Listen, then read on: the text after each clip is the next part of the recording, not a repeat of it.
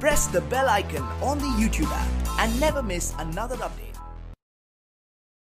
Aslam welcome to my channel technical M Maya चलिए शुरू करते हैं। इस वीडियो के अंदर मैं आप लोगों को दिखाने वाला हूँ अपने आईफोन डिवाइसेस में डार्क मोड कैसे इनेबल करें।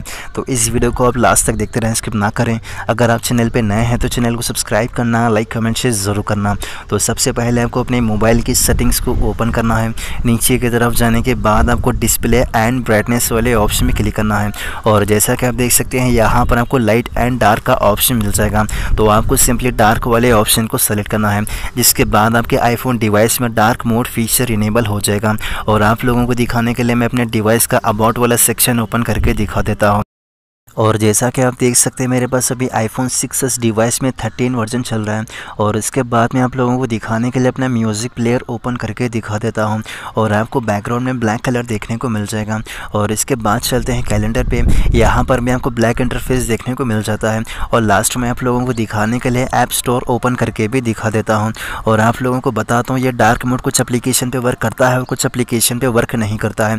आप इस फीचर को अपने हिसाब से यूज़ कर सकते हैं। तो बस इस वीडियो में इतना ही। अगर आप लोगों को ये वीडियो अच्छी लगी तो लाइक करो। इस वीडियो के बारे में कुछ भी सवाल या परेशानी के लिए मुझे कमेंट्स करके पूछ सकते हो।